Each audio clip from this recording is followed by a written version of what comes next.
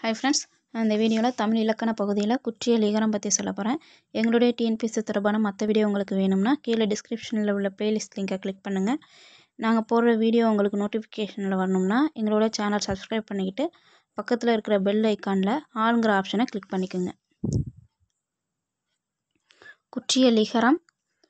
குற்றியல் லிகரம் வந்து சார்பெழுத்துக்களில் ஒரு வகை. குற்றியல் லிகரம்னா என்னென்னு பார்ப்போம். குற்றிய லிகரத்தை நம்ம எப்படி பிரிக்கலாம் அப்படின்னா குறுமை ப்ளஸ் இயல் ப்ளஸ் இகரம் அப்படின்னு பிரிக்கலாம். குற்றிய லிகரத்தை குறுமை ப்ளஸ் இயல் ப்ளஸ் இகரம் அப்படின்னு பிரிக்கலாம். குறுமை அப்படின்னா குறுகிய இயல் அப்படின்னா ஓசை இகரம் அப்படின்னா ஈ எனும் எழுத்து. அதாவது குறுகிய ஓசையுடைய ஈ எனும் எழுத்து. குற்றிய லுகரம் எப்படி பார்த்தோமோ அதே போல் தான் இந்த குற்றிய லிகரமும். அங்கே உகரம் எப்படி ஒரு மாத்திரை அளவு ஒழிக்காமல் அரை மாத்திரை அளவில் சில இடத்துல ஒழிக்குதோ அதே போல் தான் இங்கே ஈ எனும் குறில் எழுத்து அதற்குரிய ஒரு மாத்திரை அளவு ஒழிக்காமல் அரை மாத்திரை அளவு வந்து சில இடத்துல குறைந்து ஒழிக்கும் இதுதான் வந்து குற்றிய லிகரம். அப்போ குற்றிய லிகரத்துக்கு எ எவ்வளோ மாத்திரைன்னு பார்த்தோம்னா அரை மாத்திரை. அடுத்து எந்தெந்த இடத்துல அந்த மாதிரி குறைந்து ஒழிக்கும் அப்படிங்கிறத பார்ப்போம். இங்கே ரெண்டு உதாரணம் கொடுத்துருப்பாங்க. நாகு ப்ளஸ் யாது நாகியாது வீடு ப்ளஸ் யாது வீடியாது இந்த மாதிரி ரெண்டு உதாரணம் கொடுத்துருக்காங்க. இதில் என்ன சொல்லியிருப்பாங்க அப்படின்னாக்கா நாகுங்கிறது நிலைமொழியும் யாதுங்கிறது வருமொழி. இதில் வந்து நாகுங்கிறது நிலைமொழி யாதுங்கிறது வருமொழி. இது மாதிரி நிலை நிலைமொழியில் வந்து குற்றிய லுகர வார்த்தை வந்து வருமொழியில் யகர வந் யகரம் வந்து வந்துச்சு அப்படின்னா அந்த இடத்துல வர உகரம் இகரமாக மாறும். மாறி தான் வந்து நாகி யாது அப்படின்ட்டு இந்த இடத்துல மாறுது. இந்த மாதிரி மாறு மாறுற இடத்துல இகரத்துக்குரிய ஒரு மாத்திரை அளவு ஒழிக்காமல் அரை மாத்திரை அளவில் குறைந்து ஒழிக்கும்.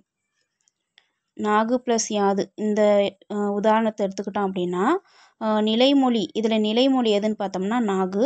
வருமொழி எதுன்னு பார்த்தோம்னா யாது. நிலைமொழியில் குற்றிய லுகர வார்த்தை வந்து வருமொழியில் யகர வார்த்தை ஆரம்பிச்சிச்சு அப்படின்னா அந்த உகரம் வந்து இகரமாக மாறும். நாகி யாது அப்படின்னு இகரமாக மாறும். இந்த மாதிரி இடத்துல தான் வந்து ஈங்கிற எழுத்துக்கு அரை மாத்திரை அளவில் மாத்திரை அளவில் ஒழிக்கும் ஈங்கிற எழுத்துக்கு பார்த்தோம்னா ஒரு மாத்திரை அளவு. ஆனால் இந்த நாகு ப்ளஸ் யாது நாகியாது வீடு ப்ளஸ் யாது வீடியாது இந்த மாதிரி இடத்துல அது குறைந்து ஒழிக்கும் இதான் வந்து குச்சிய லிகரம். குச்சிய லிகரத்துக்கு வந்து இங்கே வந்து ரெண்டு உதாரணம் பார்த்துருக்கோம். நாகு ப்ளஸ் யாது நாகியாது வீடு ப்ளஸ் யாது வீடியாது நிலைமொழியில் குச்சிய லுகரம் வந்து வருமொழியின் முதல் எழுத்து யகரம் யகரமாக இருந்தால் உகரம் வந்து இகரமாக மாறும். இந்த இகரத்துக்கு தான் வந்து குச்சிய லிகரம் அப்படின்னு சொல்கிறோம்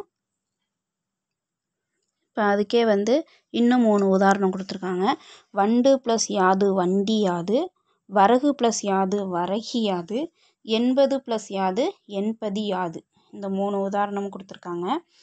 இதில் பார்த்தோம்னா அந்த மூணுத்துலேயுமே பார்த்தோம்னா நிலைமொழி வந்து குச்சிய லுகரமாக வந்திருக்கு. வருமொழி பார்த்தோம்னா ய எகரத்தில் ஆரம்பிச்சிருக்கு. அப்போ இதில் உள்ள உகரம் வந்து அந்தாண்ட சைடு வந்து இகரமாக மாறும். வண்டு ப்ளஸ் யாது வண்டி யாதுனும் வரகு ப்ளஸ் யாது வரகி யாதுனும் எண்பது யாது எண்ப எண்பது ப்ளஸ் யாது எண்பதி யாதுனும் மாறும்.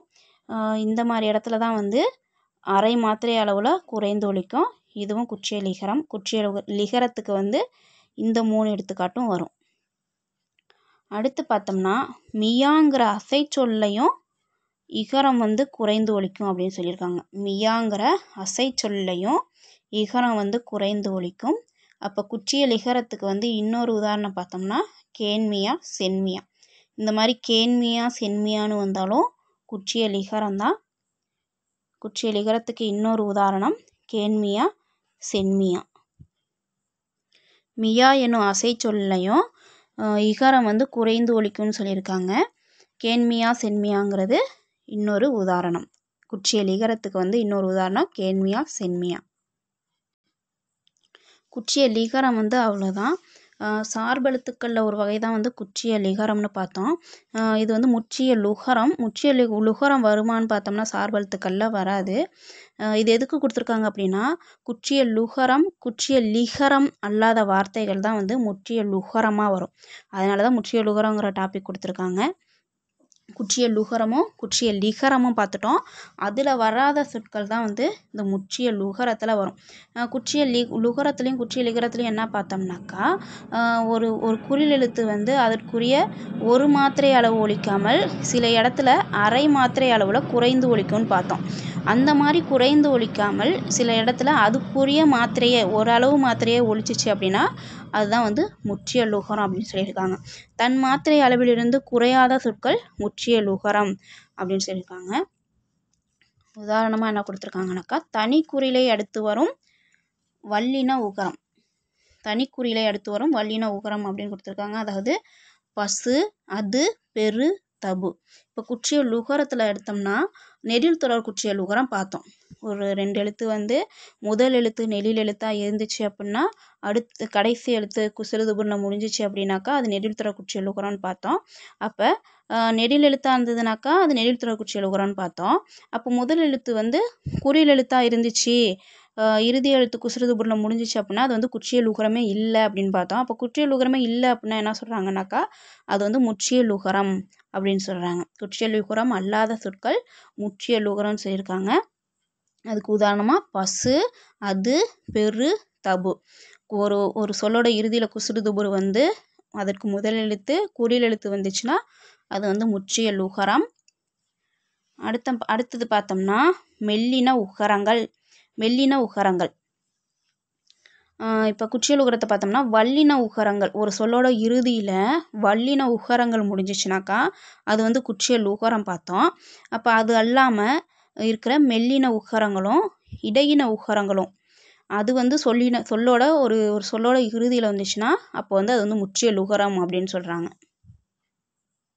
ஒரு சொல்லோட இறுதியில் வல்லின உகரம் வந்துச்சுனாக்கா அது வந்து குற்றிய லுகரம் அப்படின்னு பார்த்தோம்.